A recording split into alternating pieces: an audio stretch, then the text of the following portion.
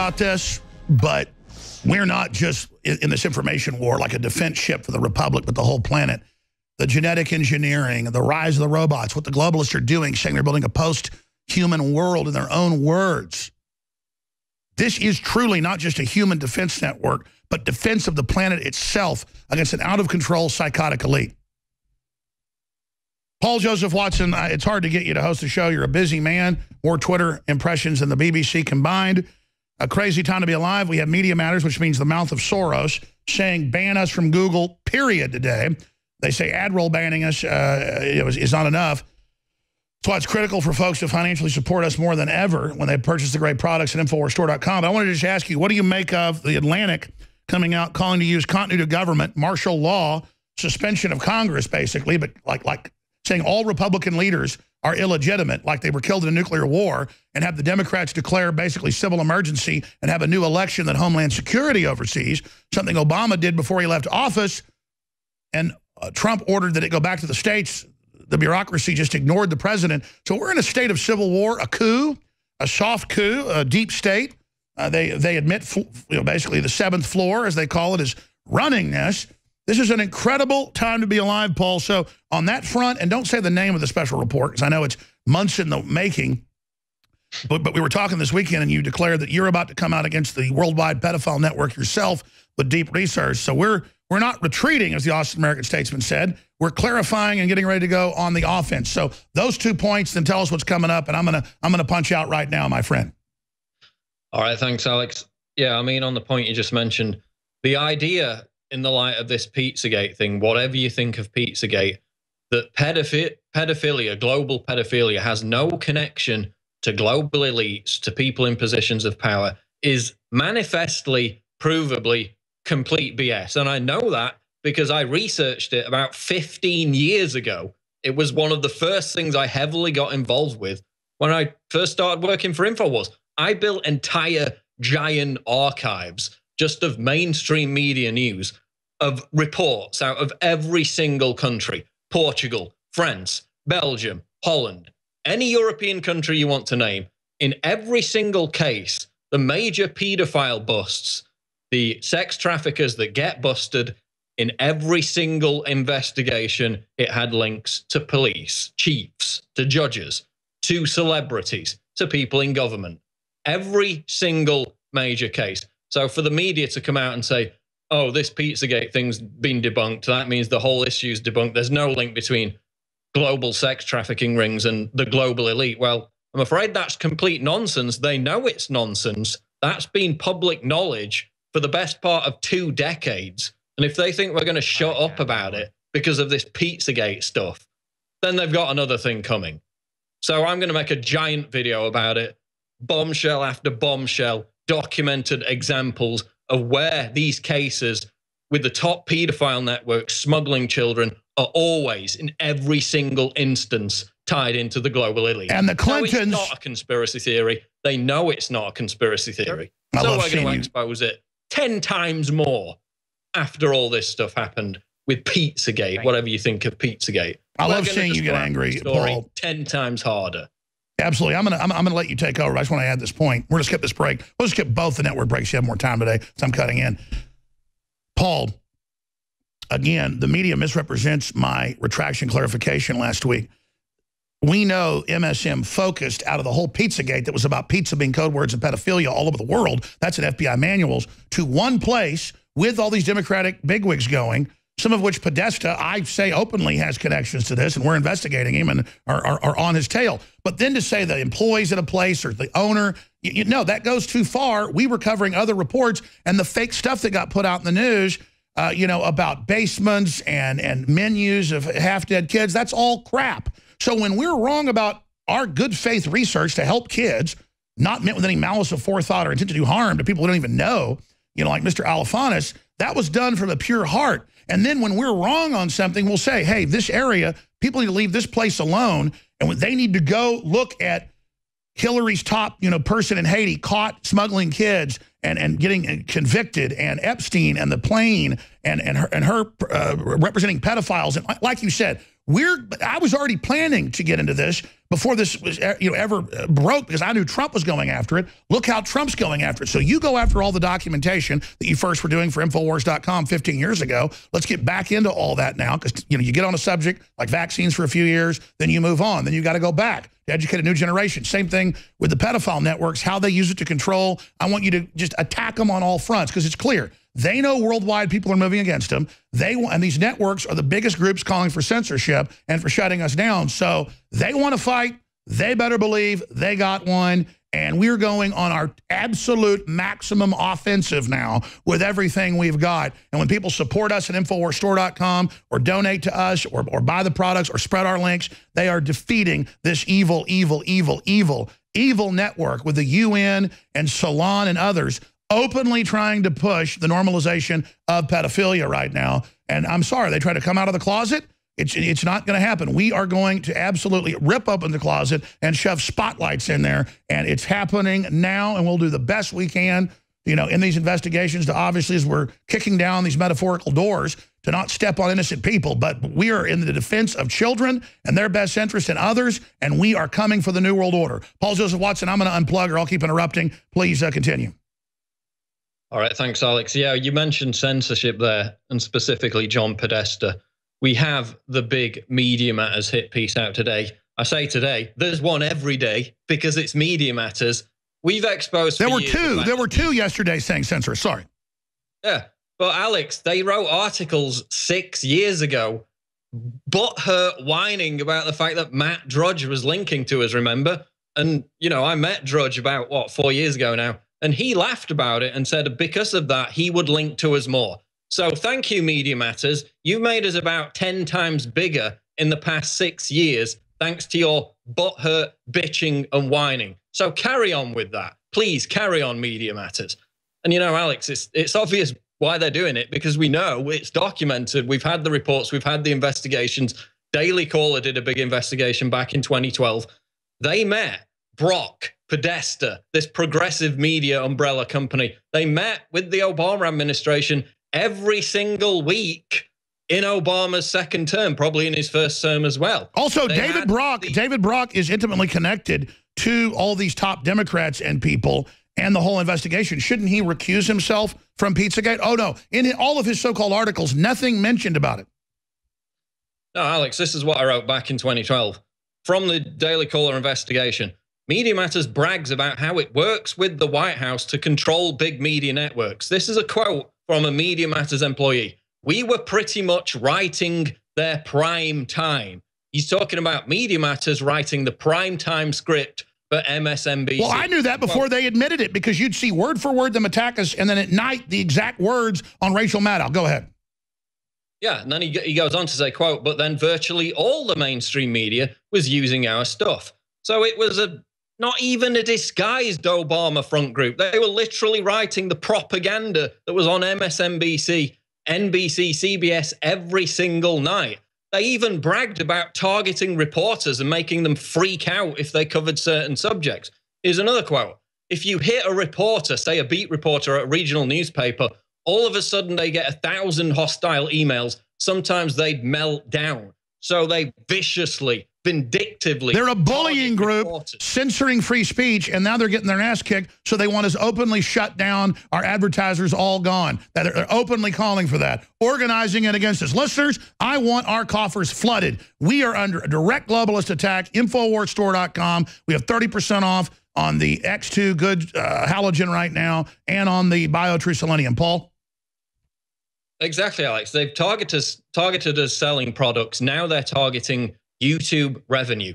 They go through literally 20 of your videos and take screenshots of PlayStation or Trivago or other companies that have ad- advertised. Again, not directly by choice. It's just a general Google AdSense mechanism, but they're directly targeting individual advertisers now. And why? Because they've lost the debate. They get their butt kicked on the issues over and over again. So they always have to resort to these dirty underhanded schemes and tactics to try and censor us. And it's not going to work. Just as it's not going to work in places like Pakistan. And this is what I'm going to get on to talk to talk about, Alex. You know, it's not that far removed. Look at what's happening in Pakistan. Google and Facebook are now working directly with the Pakistani government to tackle, quote, blasphemous content. They're helping the Pakistani government under Sharia law. Same thing in China. Same thing in China. Um, uh, uh, uh, Microsoft is helping censor. Exactly. So there's a Pakistani blogger called Ayaz Nizami, a pseudonym, who left the faith of Islam, who criticizes Islam. Facebook is helping to expose him now. There's been hashtags on Twitter, hashtag hang Ayaz Nizami. They're openly calling for his execution. Of course, that's completely allowed by Twitter. They don't give a damn about censoring that. They'll censor us all day long, though, for you know using the wrong word. Saying faggot on Facebook will get you a 30-day ban. But Facebook is now working with a Sharia law government to literally hunt down thought criminals. And Germany has hired former Stasi to help uh, spy on folks to shut down free speech. And we know they're using Muslim brigades at Facebook now to go around censoring people that are being given this master moderation level. So we literally have radical Islam now as the cultural enforcer of the left. Exactly. So it's not a private company. It's working with government to harass and target people. I'm going to stop it. I'm skipping all the breaks uh, except for the, net, the, the local one. See you more time, Paul. Go ahead. Yeah, so the point is people make the argument, oh, Facebook's a private company, Google's a private company, they can do what they want. Well, Alex, they're no longer private companies, they're monopolies. Okay, if you get censored off YouTube, there are virtually no other options. Your content is buried. Eric Schmidt came out a few days ago. He said, Oh, we're not going to censor you. We're just going to bury your content so nobody can see it. Oh, gee, thanks. That doesn't sound like, oh, yeah, that's actually censorship, isn't it? It's the very same thing. Eric Schmidt on record saying that's what he's going to do. Google is a monopoly. They control virtually, what is it, 90, 95% of search traffic. There's no other platform like YouTube. They know it. They've got the monopoly on it. It's no longer a private company situation when Facebook, Twitter, and Google are working with governments to harass people, to identify them, to target them, whether it be in Europe with hate speech laws. You know, we've had cases where people in Holland, people in Germany have criticized the migrant policy of their governments on Facebook, on Twitter. They get home visits from the police. And who's that thanks to? It's thanks to Facebook and Twitter giving police their home addresses. So don't give me this BS about Facebook and Google and Twitter being private companies who can do what they want. That line has long since been crossed. They're basically government entities now. This is corporatism, and they're using it to strangle free speech. As I said eating my salad, Paul, as I said eating my salad, they are attempting a hostile, multinational, global takeover of the nation state, free speech, the internet, you name it. It is a criminal, hostile takeover publicly declared by a bunch of arrogant eugenicists. No, and now we see it with YouTube. I mean, there's an article out of the Financial Review here Car makers Holden and Kia are pulling ads from YouTube as boycott widens. So you think, well, maybe it's like ISIS propaganda, right? Beheading videos. That's understandable that they wouldn't want their ads to appear on those kind of videos. No, it's quote, men's rights and anti feminist content. So if you get up on YouTube and you criticize Trigglypuff or Big Red or any of these ridiculous screeching feminists, that's now hate speech. Your channel gets demonetized. There are literally now hundreds or thousands of political commentators on YouTube who are bashing the mainstream media, beating them at their own game. And the mainstream media absolutely hates it because they know we're dominating YouTube. This is censorship. Even Vice.com, which is, in its online version is this far regressive left social justice warrior sewer, basically, at this point. Even they came out and said, I was right the right or conservative libertarians, anyone who's basically authentic and not controlled, you know, they're upset about frigging PewDiePie. He's not even political.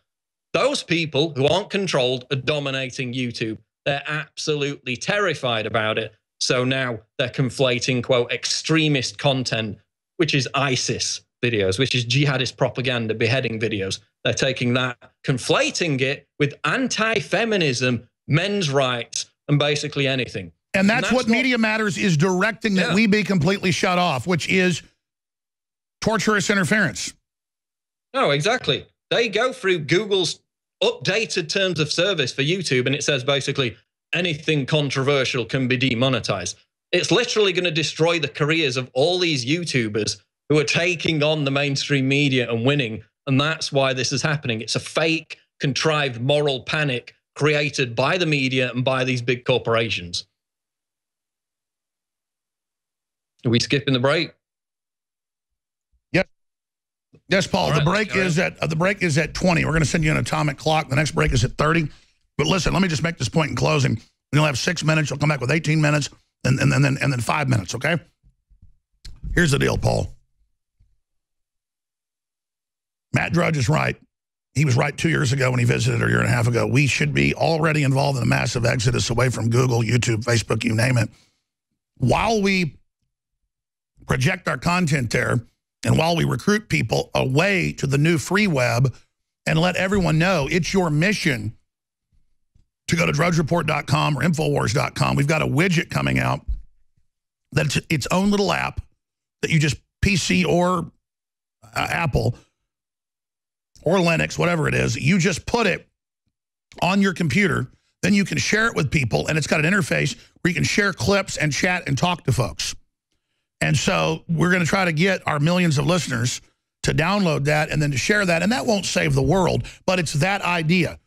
We've been on YouTube. We've been on Google. The same content will dominate anywhere. I mean, we have over a million downloads of our podcast that is just an old-fashioned version I only promote every day. We have millions and millions that tune into our own streams every week. Then we're on commercial radio, close to 250 stations right now, some of them gigantic. And I don't even put out the list of stations because they'll try to boycott and harass those. Since I finally stopped listing our stations, we just uh, they exploded the last few years. I had that idea and I knew it would work. Why does the station need to be given credit on, on, nationally? They don't. And the listeners like Fight Club just spread the word behind the scenes, financially support them. And when we go from being on on the weekend to being on at night to being on during the day, 50,000 waters in some cases in some of the biggest cities in the nation.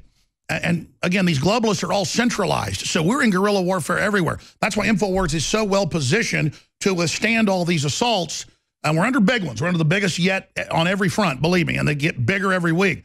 But it's making us mobilize and go to the next level. And that which doesn't kill us only makes us stronger, to quote Frederick Nietzsche. Uh, so absolutely. So call to arms, Paul.